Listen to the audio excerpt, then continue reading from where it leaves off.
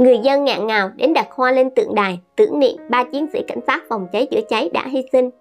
Giải cứu an toàn 8 người ra khỏi đám cháy ở Quang Hoa, nhưng ba chiến sĩ công an đã hy sinh vì trần nhà bất ngờ sập xuống. Sau hơn một ngày vụ hỏa hoạn xảy ra, người dân tại Hà Nội chiều ngày 2 tháng 8 đã đến đặt hoa lên tượng đài tưởng niệm các chiến sĩ đã hy sinh. Vụ cháy ở quán karaoke phường Quang Hoa, quận Cầu Giấy, Hà Nội đã khiến ba chiến sĩ cảnh sát phòng cháy chữa cháy đã hy sinh. Cả ba nạn nhân đều là chiến sĩ của đội cảnh sát phòng cháy chữa cháy và cứu nạn cứu hộ công an quận Cầu Giấy. Họ là Trung tá Đặng Anh Quân, đội trưởng, Trung úy Đỗ Đức Việt và bên nhì Nguyễn Đình Phúc. Sau khi đưa được 8 người dân ra khỏi vụ cháy thì họ hy sinh. Sau vụ việc trên mạng xã hội, nhiều tầng lớp cả ngàn cư dân mạng đã bày tỏ sự xót xa, thầm cảm ơn những người anh hùng hy sinh trong thời bình.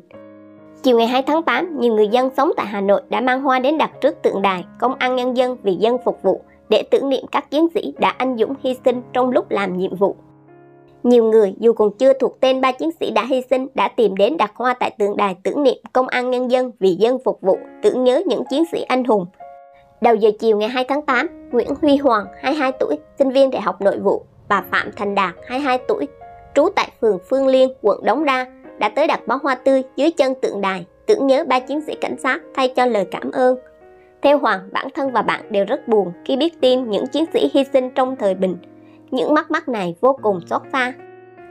Ai nấy cũng ngạn ngào, xót thương trước sự hy sinh thầm lặng của các người hùng.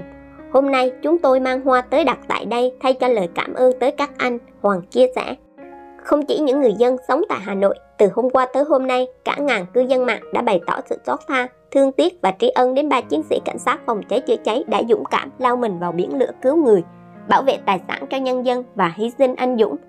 Liên quan đến vụ cháy ngày 1 tháng 8 khiến ba chiến sĩ hy sinh, ngày 2 tháng 8, Chủ tịch thành phố Hà Nội Trần Sĩ Thanh đã ký quyết định truy tặng bằng khen ba cán bộ chiến sĩ vì có thành tích đặc biệt xuất sắc trong công tác chữa cháy và cứu nạn cứu hộ. Sáng cùng ngày, Bộ trưởng Bộ Công an Tô Lâm cũng quyết định truy thăng cấp bậc hàm từ trung tá lên thượng tá đối với chiến sĩ Đặng Anh Quân, từ trung úy lên thượng úy đối với chiến sĩ Đỗ Đức Việt, từ binh nhì lên hạ sĩ đối với chiến sĩ Nguyễn Đình Phúc. Cùng ngày, Ban chấp hành Trung ương đoàn quyết định truy tặng huy hiệu tuổi trẻ dũng cảm với thượng tá Đỗ Đức Việt 24 tuổi và hạ sĩ Nguyễn Đình Phúc 19 tuổi. Trước đó, khoảng 13 giờ 10 chiều ngày 1 tháng 8, lửa bắt nguồn từ khu vực tầng 3, sau đó bao trùm toàn bộ cơ sở karaoke ISDS có quy mô 5 tầng, một lửng, một tung tại số 231 Quang Hoa, phường Quang Hoa, quận Cầu Giấy. Nhận thông tin, đội cảnh sát phòng cháy chữa cháy và cứu nạn cứu hộ công an quận Cầu Giấy đã huy động lực lượng phương tiện tới hiện trường phối hợp với lực lượng liên quan tổ chức dập lửa cứu nạn.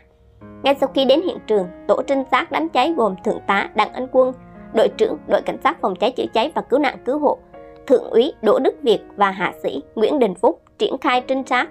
tổ chức chữa cháy, hướng dẫn 8 người bị nạn thoát ra ngoài an toàn. Tổ trinh sát sau đó tiếp tục quay lên các tầng bên trong nhà với hy vọng tìm kiếm thêm những nạn nhân khác bị mắc kẹt. Khi ba chiến sĩ lên tới tầng 4 thì các vật liệu làm trần giả, vật liệu trang trí bên trong nhà dập xuống cầu thang bộ, bịt lối thoát khiến cả ba cán bộ chiến sĩ hy sinh.